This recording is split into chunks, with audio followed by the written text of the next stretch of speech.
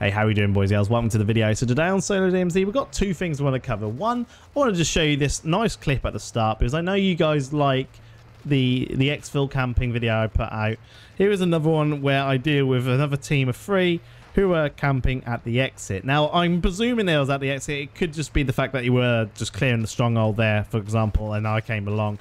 But they were at the exit. As soon as I called it in, they started shooting on me and uh, we deal with them. And uh, it was a good one. We, we, we made some good plays. We put um, used all our equipment we could use to take them on because I was caught in a really sticky situation. So enjoy that. And then after that, I'll then cut to the controller settings, just go through my actual controller settings, and then we'll go over some things in private match, just talking more about uh, a few things you can do to try and improve uh, on your aim as a controller. Things like crosshair centering, how to abuse the aim assist. And if you've been watching my streams, you'll most probably know about this. And um, yeah, we're going to be talking about a few things like that. So enjoy, boys and girls. Thank you so much for watching. Appreciate all the support. I'll see you soon for some more DMZ.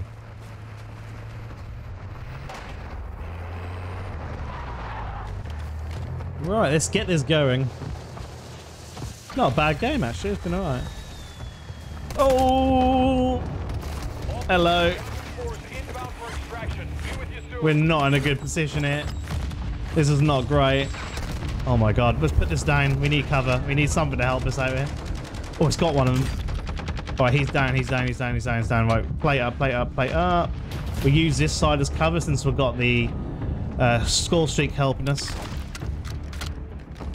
Let's push up. Use this as cover. This guy's put a freaking turret down himself. Right. I'm just worried about this guy pushing. The thing is, he has got. I have got the turret covering me. I think that's why he's not. Oh, just nearly. I think that's why he's uh, not pushing. Oh no, he's he's done a flank. Right, he's down. Now I could possibly leave here, but I'm going to take these guys on. Uh, PvE's pushing. Let's push up with the truck.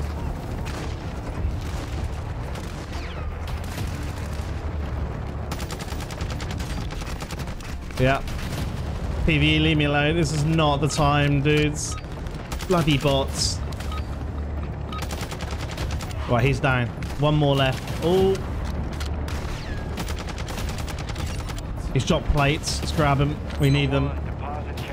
More cars coming in. Please be PvE. Please not be another people. People. Uh, enough people. Sorry, that's good. Good, good, good. Where's the other one? He's there. What are you doing, cheeky? No, no, no, you're not getting them up. All right, I hope you enjoyed that clip. That was an absolute corker of a clip. I enjoyed that one against those guys. Anyway, settings for you. Going to go on to edit button layout first. Now, this is going to be something you need to change. I 100% advise you to change this if you are using a normal controller. If you're using a SCUF controller, paddles on the back, up to you how you have that layout, right? But I just want to uh, kind of encourage you to always be able to aim with your right stick, right, at all times whenever you're doing things in terms of movement. And like when I say movement, like diving, changing stance, you know, taking cover, using cover to your advantage, when you're doing that type of stuff, you want to be, a, be able to have control of your aim at all times, right? So you can adjust easier, ready to pop out of cover to shoot people, things like that, right? Send, you know, crosshair centering and all that kind of thing. So if you're using a SCUF controller on that, this is mostly fine. I have the paddles on the back myself. You know, I have jump and slide on the back. So I have the default because they're the only two um, movement things I want to kind of touch the most. Mainly the dive. And this is what we're going to talk about here. So if you go to edit button layout, go to the um, preset, change it to tactical. Okay? Thank me later. It's going to help you so much, right? Tactical, the only thing it's going to do is put it so your dive, and slide, change stance, all that kind of thing is now on the right stick, the same stick you use for aiming. You just got to click it, okay? And then you put your melee on the circle button where your crouch was. This may take a day or so to get used to, but it's going to help you greatly because you can now maintain your aim and maintain control of your aim while changing the stance, while diving out the way, you know, while sliding to cover, things like that, right? And I, like I said, I encourage using cover at all times, yeah? You know, if you, you won't try and catch me out in the open, you know, I'm going to be using cover as much as possible, especially against the PvE, because those, those, they're absolute savages, you know? You just come out of nowhere, start shooting at you. If you're out in the, uh, if you're out in the open, that's it, you're dead, right? So, tactical is really handy for that. You can utilize cover a lot more, dive into cover a lot more while maintaining aim. Absolutely a must if you're running a default type of controller, basic normal controller, yeah? All right. Anything else here? If I don't mention certain things, if I skip certain things, it's just because it's a preference thing. It's not going to affect gameplay at all and so it's more of a preference to you on your setup okay? So if i skip certain things that's because of that. So all this is preference stuff like the controller vibration trigger effect. Some people say it affects your aim. It doesn't affect my aim. I just don't like vibration. I just don't want it all going shaking on me when i'm in a fight right? It it could affect your aim possibly but to me it didn't really affect my aim. I it's just more of a preference thing but this is why i was just left these as it is. Now aiming I would advise when it comes to the sensitivity, sticking it anywhere between a 4 to around a 7 or 8. If you're going any higher, it's going to take you a bit more effort to have more control, especially at those longer ranges, right? Because you're going to get into a lot of gunfights, and a lot of times you do get into longer range gunfights, right? That's not all close quarters. So you want something which you'll be able to deal with close quarters very easily, but still maintain decent accuracy at the further ranges. So this is why I've gone with a 5-5. Uh, for me, that's perfect. It's not it's too fast, it's not too slow, and I can control my recoil nice and easily, and I can control tracking nice and easily at the further ranges. And this is why I also got my sensitivity multiplier, ADS sensitivity multiplier at 0.65. This basically means that I can track people again nice and easily at the further ranges. It's still um, not super low enough where I can't snap towards other, other um, players afterwards. If I've aimed at someone else and then I want to snap to someone else, I can do quite easy just by flicking the stick to the left or right to the next person. It's still fine. 0.65 just makes it feel a lot more control. I have this the same on my mouse, right, with um, the mouse acceleration curve. When I ADS, it halves my sensitivity, basically. So it's the same type of feeling. I just want to have a little bit more of a slowdown when it comes to actually zoning in and aiming at people. This also, okay, after doing some research, people are saying and stating and have proved that a lower sensitivity, for some reason, seems to make the aim assist feel more stickier. All right. I don't know why. Most probably something to do with the fact that obviously if you've got a lower sense, it's trying to, account you know, account to that by still trying to track people moving faster it feels it does feel more sticky when I lower the, the sensitivity a bit more. Not like a ridiculous amount, but it helps. So this is why we've got these all set to how we have, all right? Because to be honest, if you're using a controller, like for, for example, myself, one of the reasons I want to use controller is the aim assist because the aim assist is very strong in Modern Warfare 2. It is very strong. It's one of the strongest aim assists in any uh, in current games at the minute, right? It's just very very strong, and so you want to utilize that as much as possible, right? It's going to give you an easier time. It's going to make you win more gunfights. You know, so that's how we that's how we're rocking this and with the aiming. I haven't changed the multiplier sensitivity multiplier here. It's all one. I haven't changed anything here. This is all kind of preference stuff until we get down to here. Automatic sprint. You want this off. Basically, when you if you try out any of my shotgun hipfire builds, I have a few people comment or message me saying that they can't hip fire it. It like just they just keep sprinting, right? Oh, and they're trying to hip fire it, and it gets them killed. This is why you want to make sure automatic sprint is set to off. It gives you more control out of the any situation when you're in like a building or anything like that, and you want to hip fire, and you're trying to center your cursor to certain places while hip firing. This is why you want that off, okay? And then you could just control when you need to sprint and automatic uh, and tack sprint, sorry, okay? So I have this off uh, moving on. Prioritize interact for um, easier looting, basically. So interact reload behavior, have it on prioritize interact. It just makes it easier to loot, pick things up.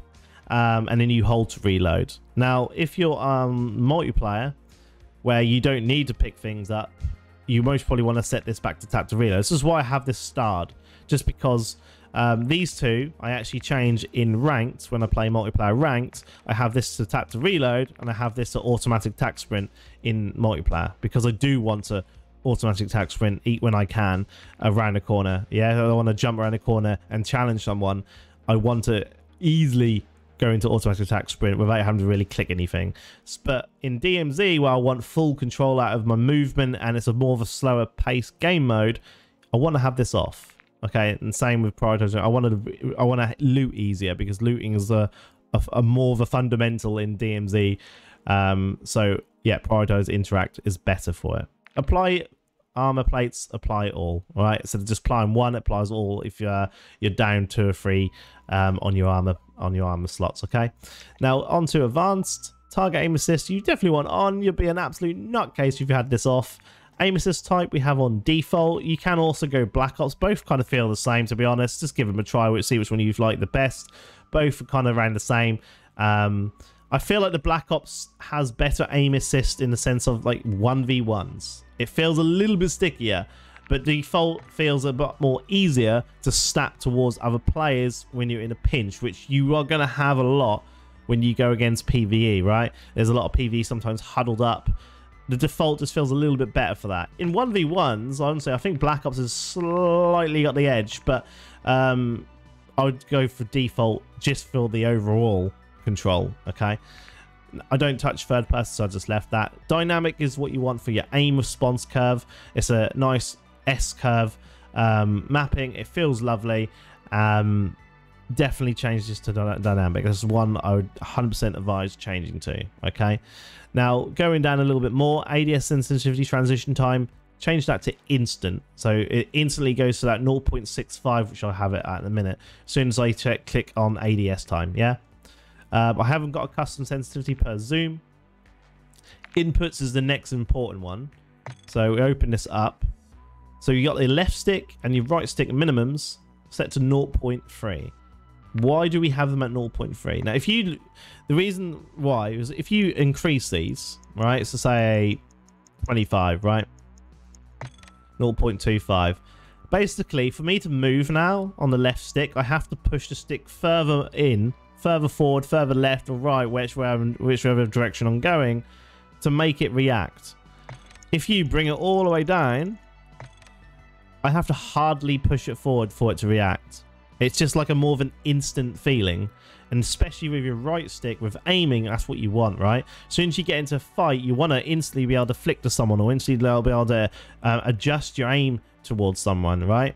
You don't want to have to, like, you know, wait a little bit longer. You have to push it a bit further to get it to react you know any every little bit of time you know even if it's just like half a millisecond or a millisecond you want that extra time to be able to shoot, right? That's, putting you at a disadvantage if you have slower reaction times. So you want to have these at the lower, as low as possible, basically. Now, if you set these to 0.3, yeah, 0.03, and you are getting stick drift, that's basically if you're just not touching the right stick and it's moving left or right in a certain direction, just go to the right stick here, up at Y1, then look again. Is it moving? Yep, still moving. Go to 5. Is it now moving? Nope, stopped moving now, 0.5. Then keep it at 0.5. Yeah, that's how you also counter stick drift when your controllers get a little bit old, older. You do encounter stick drift on those controllers, and this is how you you counter it. You can just up it slightly, just up it by one each time, and then until it stops. Yeah, so I'll keep it all at 0.3. Same with uh, left stick max 0.05, uh, 0.95. I have these at the maximum um, for this. So um, the re you could one thing I have dabbled with for the left stick max is bring this all the way down to around 70 to get full movement at less you don't have to push it all the way to the far furthest to get the full movement of going left and right or forward backwards. It it's, it's something you can play about with but honestly just keep these both at 0.95 right? This is for me, feels the most comfortable. Left trigger, right trigger, you want at 0.00. That basically means that you instantly pull the trigger down. As soon as you pull the trigger down, it instantly starts to ADS or instantly starts to fire. Right? There's no delay. You don't have to push in the trigger further in for it to actually shoot. Right. Again, just making it feel a lot more responsive. The settings here are basically just to try and make the controller feel as responsive as possible. And that's what we're trying to go for here. All right. That's what the input dead zones are for. Right. Controller orientation haven't changed. Gyro, don't use it. And then we come down to here. A lot of this is going to be preference type stuff. So we've got sprint, tactical sprint. We've got as a toggle. I haven't got auto move forward on. I run single tap run to activate the tactical sprint. And then these ones are important. Ground mantle, automatic airborne mantle, automatic ground mantle, all off if you're in a gunfight and you're trying to jump somewhere or jump over something or anything like that, and you end up like grabbing something, it can get you killed, right? It's, it's been it's really frustrating when it it does this automatic grappling in, especially in gunfights, right? It just gets you killed. This is why I have all these off. It doesn't do all the all that automatic stuff. Um, again, giving you more control over your movement. Now, this one's a really important one. Inverted slide and dive behavior. You want this set to inverted. What This it's going to do is make it so when you tap R3, because, you know, we're going with, you're changing your default thing to, you know, um, tactical, your layout. So when you tap R3 to dive or slide or anything, it just, you, you only have to tap it to dive. You don't have to hold it to dive.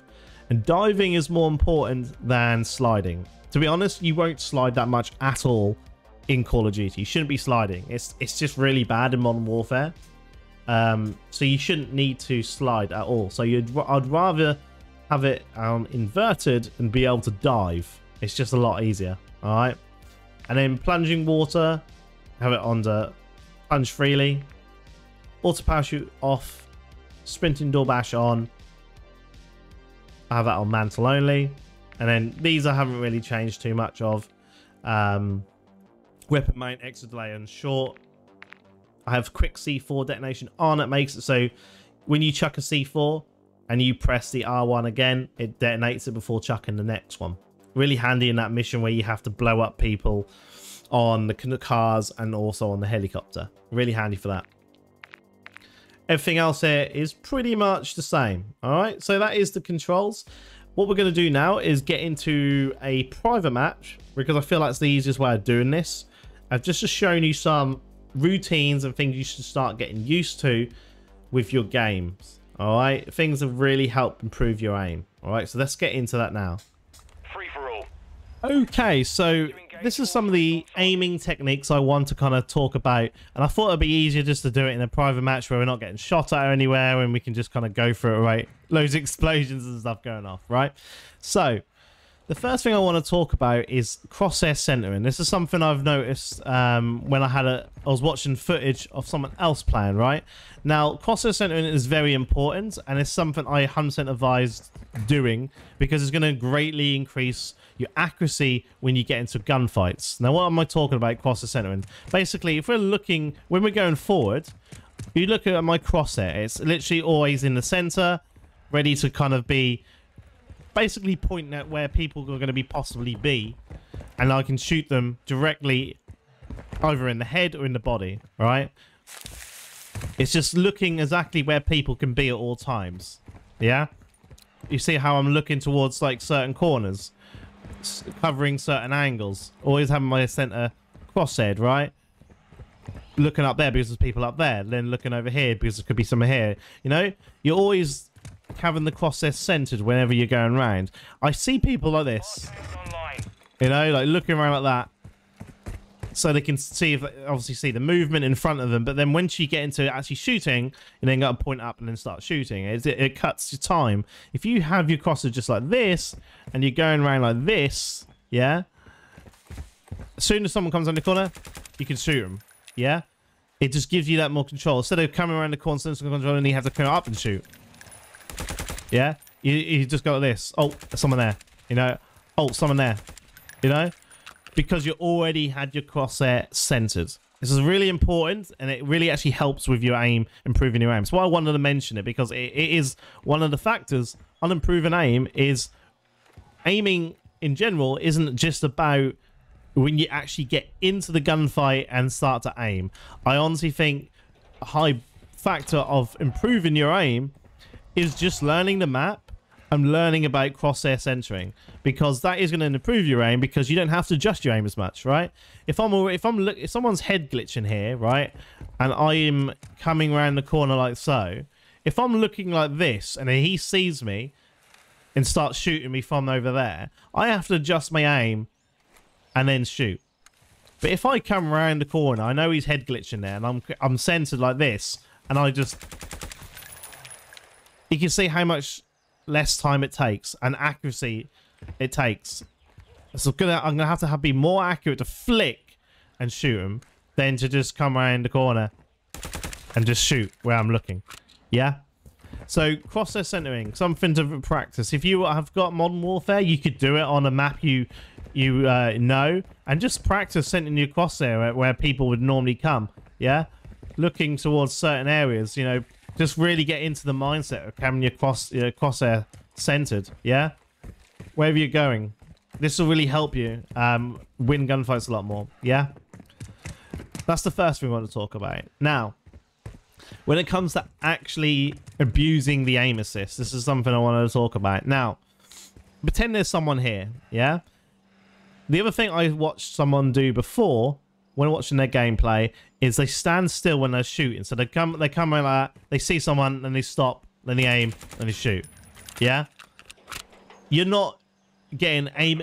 Basically, you're not getting hardly any aim assist when you do that, right? If you don't move your left stick, if someone, like, ran... If I'm, like, here, right? And someone ran across the, the screen here, it would not track them. It would not kind of, like, slightly follow them. It would just keep still. There'd be no aim assist whatsoever because you're not moving you would get then aim assist a little bit from using the right stick, right? So if I was stand dead still and then I used the right stick to try and adjust my aim, you would get a little bit of aim assist, but not all of it. You wouldn't get the full rotational aim assist. All right, you get a little bit, but not, not much. If you use your left stick, go over strafing left or right, or forward left, forward right, backward left, backward right, not directly forward, or not directly back, but either slightly to the left somewhere or sort of right somewhere, yeah? That's when the aim assist really kicks in. And so when you're getting into gunfights, you'll notice I'm always kind of strafing, right? To move. And then I'm also trying to use my right stick just to, to when I strafe, to also move a little bit to get the full aim assist, rotational aim assist in effect. It slows down and really tracks people. It's a lot better and it's going to help you win your gunfights a lot more, right? You want to move when you're shooting, move when you're shooting, yeah? Now, the reason you also want to do this is strafing in gunfights is going to be a lot harder for them to shoot you than if you're just standing still right? If you're just a, a, still target and you get into a gunfight, not only are you going to have less aim assist, if the person is moving, he's going to have more aim assist and he's shooting at a still target. If you come around the corner and you're in a fight with someone and you're strafing left and right, you've now got full aim assist while moving and being a harder target to hit. Yeah? So what I'm trying to take away with this is always be moving when you're getting into fights, right? Strafing left or right. And you don't have to do a... You don't have to just be basic go left. You know, right, left, right. You could go left, left, right, left, left, right, right, right, left. You want to make your strafing really uh, unpredictable too, right? It's all things to just really help you with your uh, movement, with throwing off the aim of the other player. This is something which comes kind of natural to me because we used to do this a lot in Halo. Um, Halo was, you know, all about the strafe. A good, you'd know someone's a good player in Halo because they would strafe. They'd be very, very good at strafing, and they'd do some really weird type of strafe patterns. And it, it's a, a FPS fundamental which you can take around with you from, you know, to all kind of like games, right? So make sure you're strafing, make sure you're moving, make sure you're always moving in gunfights because it's going to help you um, keep your aim assist stronger, rotation aim assist stronger, and uh, take full control of what the controller has. Yeah. So that is what I wanted to talk about today. I feel like this is going to help you out a lot more. Definitely the crosshair centering along with the rotational aim assist abuse where you're moving slightly when you get into gunfights. It really will help you out with your aim. Let me know how you feel about it. Let me know if it helps you out. Let me know if you feel like you're winning more gunfights. I'd love to kind of hear it. Thank you so much for watching, guys. Anyway, uh, this has been quite a fun one to um, do tutorial-wise. I quite like doing these type of ones, but enjoy. Thank you so much for watching, and I'll see you soon for some more DMZ.